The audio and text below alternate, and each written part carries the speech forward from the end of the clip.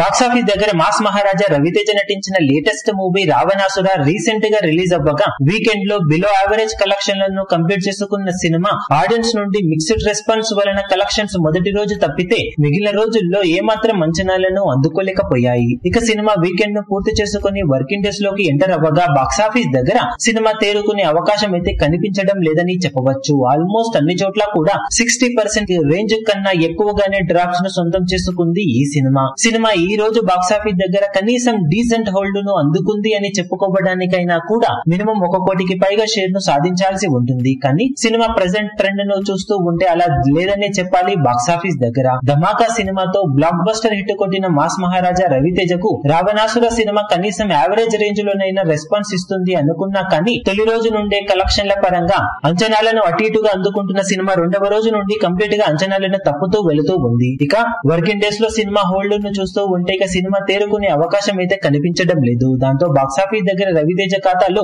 మరో flop మూవీగా Ravanasura cinema నిలిచే అవకాశాలు ఎక్కువగా ఉన్నాయని చెప్పవచ్చు. మరి సినిమా ఈ అంచనాలన్నింటినీ తప్పని నిరూపించి వర్కింగ్ డేస్లో ఏమైనా గ్రోత్ను చూపించగలుగుతుందో లేదో చూడాలి.